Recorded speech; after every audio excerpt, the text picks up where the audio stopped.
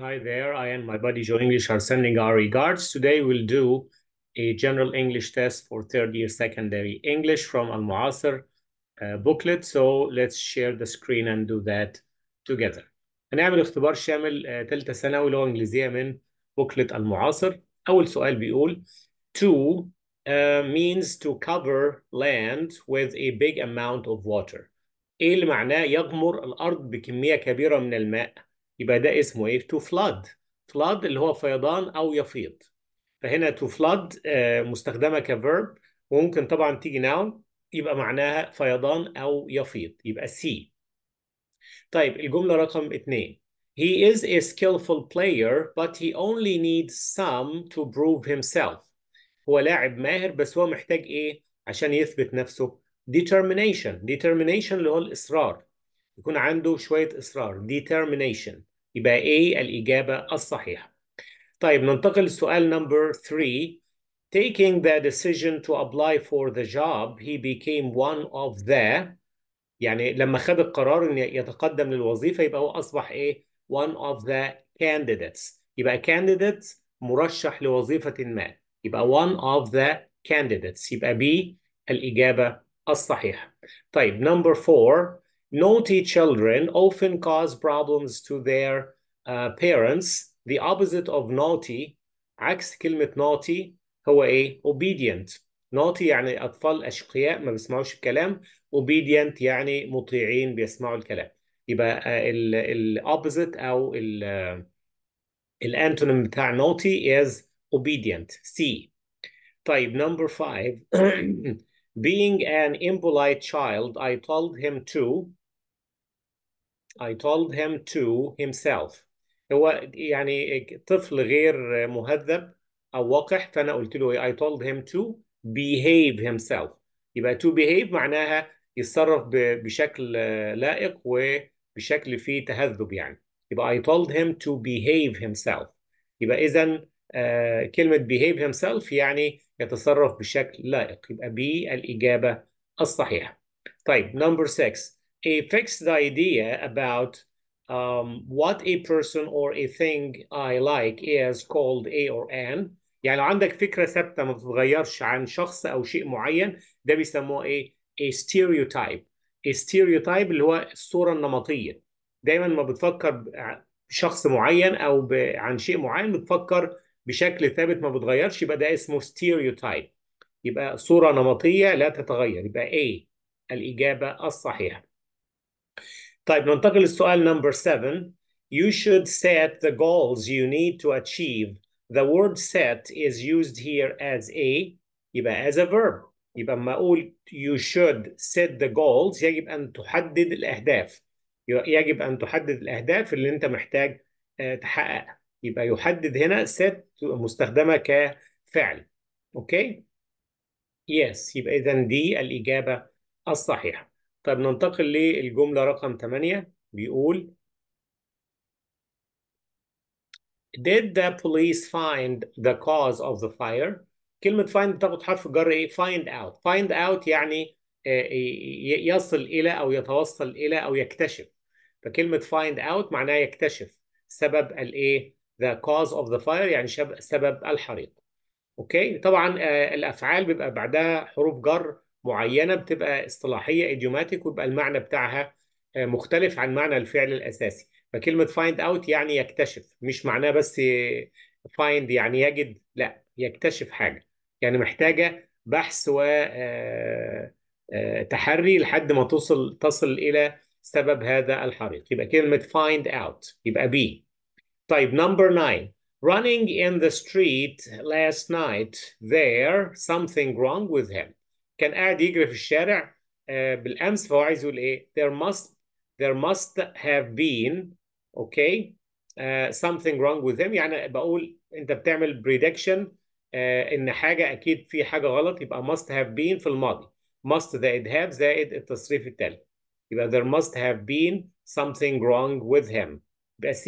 يبقى أنا بستخدم must زائد be أو must زائد have زائد التصريف الثالث في الماضي عشان أعمل prediction عن حاجة أنا متأكد منها okay؟ يعني أو أو, strong prediction إن أنت أو strong inference يعني استنتاج قوي عن شيء أو prediction قوي عن شيء إن هو حاجة دي حصلت يعني. Okay؟ Yes. يبقى لو قلت there must be something wrong with him لو حاجة بتحصل دلوقتي في المضارع must have been في الماضي. طيب number 10 uh, it was raining we reached the stadium. يبقى it was raining when we reached the stadium. يبقى حرف ال linking word هنا اللي هي when دي الإجابة الصحيحة. طيب هي when تبقى عكس while. while بيجي بعدها الزمن المستمر والجملة الثانية الزمن البسيط لكن when بيجي بعدها الزمن البسيط والجملة الثانية الزمن المستمر. فهنا when we reached ماضي بسيط الجملة الأولانية I it was raining هي المستمر.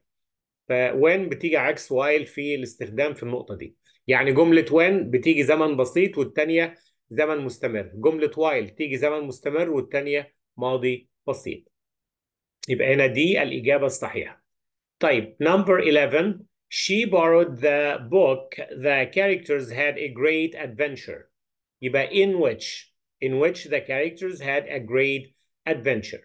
okay آه لو إحنا استخدمنا آه preposition يبقى بجيب بعدها which okay لكن لو ما جيب ما لو ما استخدمناش preposition بستخدم where اللي هي آه يعني آه ضمير يدل على المكان. ضمير يد... ضمير وصل وفي نفس الوقت ظرف يدل على المكان ظرف مكان يعني أوكي يعني ممكن أقول Cairo is the city where I was born أو in which I was born.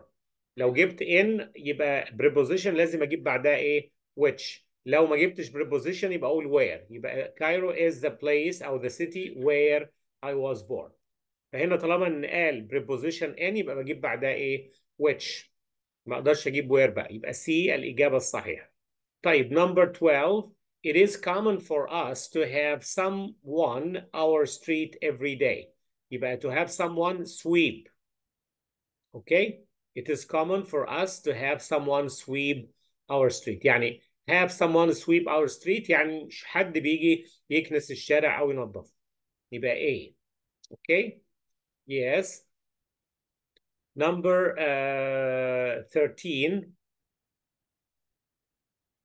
هنا بيقول uh, the more you train hard you are يبقى the more يبقى الجملة ديت comparative الجملة الثانية تكون comparative برضو the stronger you are.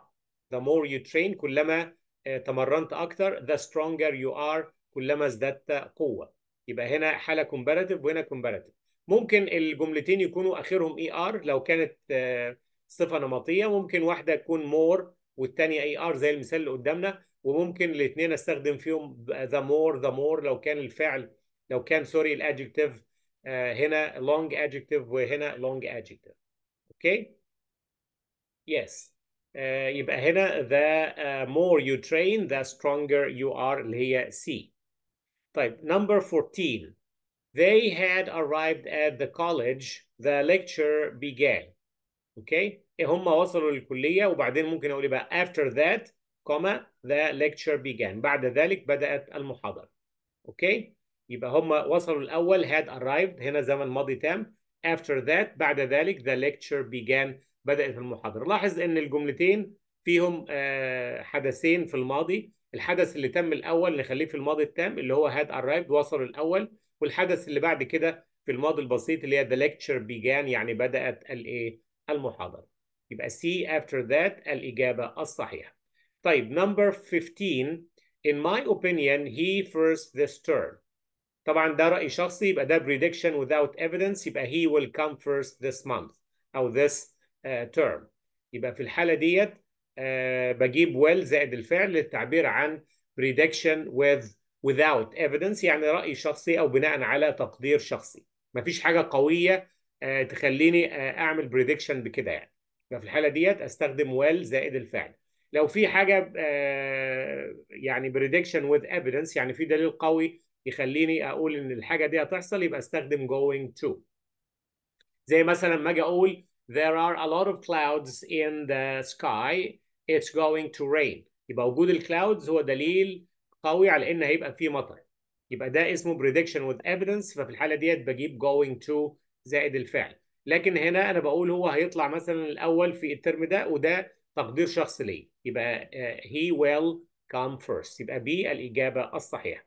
طيب number 16 people in my neighborhood often cooperate with other to solve their problems يبقى they cooperate أو often cooperate with each other يبقى B each other هي الإجابة الصحيحة شوف بقى writing uh, MCQ اللي هو سؤال الكتابة اختيار متعدد uh, 17 choose the sentence with the correct punctuation هلاقي ان C we studied King Lear in secondary 2 يبقى عندنا we W capital و King Lear ال K capital وال L capital لأن لها اسم uh, قصة okay مسرحية يعني. وبعدين full uh, stop في الآخر وسك فيها full uh, stop عشان اختصار ل secondary okay؟